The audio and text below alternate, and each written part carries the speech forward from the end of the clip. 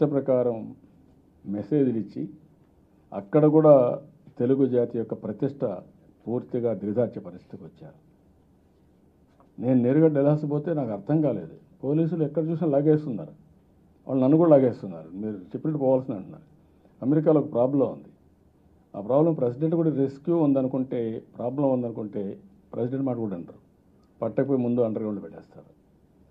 మీ ప్రాణాలు కాపాడాలి కాబట్టి కాపాడతాం. మళ్ళీ చూద్దాం ఏం కావాలంటుందని వాళ్ళు నన్ను కూడా తోసేసి ఎవరు వాళ్ళు కొట్టేయడం తోసేయడం అన్ని వెహికల్స్ పెట్టారు. నాకే అర్థం కాలేదు. షాక్ అయ్యాను. ఏంటి ఏం జరిగిందంటే అప్పుడు మా హైకమిషన్ చెప్పే పరిస్థితి వచ్చారు మరిగా ఈమెయిల్ వచ్చిందండి. అంటే ఆ ఈమెయిల్ ఇది రాశారు. ఎంత దుర్మార్గం ఇది? ఎంత దారుణం?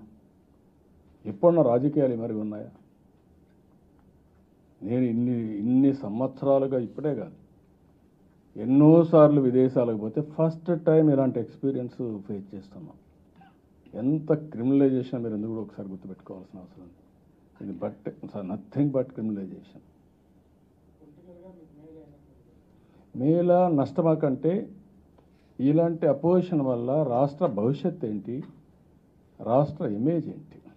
ఇలాంటి నాయకుల వల్ల రాష్ట్రంలో ఏమవుతుంది? ప్రజలు ఎట్లా రిసీవ్ చేసుకుంటారు ప్రపంచం? అరే మీది మీ రాష్ట్రంలో ఇప్పుడు ట్రంప్ గురించి మనం మాట్లాడుకుంటే వీళ్ళ గురించి ఏమనుకుంటారు?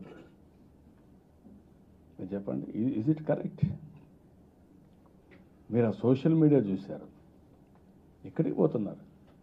మీరు మీ నా విషయాలు మీరు ఏదైనా ఉంటే మీ పాలసీలు మీ సిద్ధాంతాలు మీరు ప్రమోట్ చేసుకోవడం తప్పలేదు. ఆ సోషల్ మీడియాలో వల్గారిటీ ప్రవర్తించే తీరు అసభ్యం ఎవరికైనా మనిషి అనుకున్న వాళ్ళకి ఆ ఫోటోలు ఆ భాష వాళ్ళ యొక్క ప్రవర్తన చూసిన తర్వాత మిమ్మల్ని వేరే అమ్మాయితో పెట్టి ఫోటో వేసి ఎట్టు ఫీల్ అవుతారు మీరు? ఎంత వల్గారిటీ అది. అదే మరి బండబాటులు తిడుతూ బూతులు తిడుతూ మిమ్మల్ని రాస్తే మీరు ఎంత ఫీల్ అవుతాం మనం కూడా మనుషులమే కదా. ఈజ్ ఇట్ రైట్ ఆ లెవెల్కి మనం దిగజాలని దిగజారగలుగుతామా that is the biggest challenge